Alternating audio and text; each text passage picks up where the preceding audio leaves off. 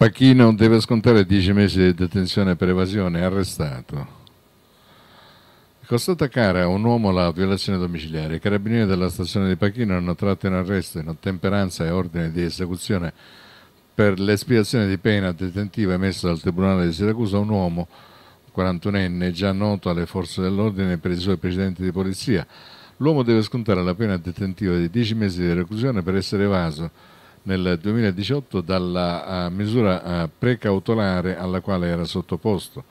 Il 41enne, dopo le formalità, è stato tradotto presso la propria abitazione al regime di detenzione domiciliare a disposizione dell'autorità giudiziaria.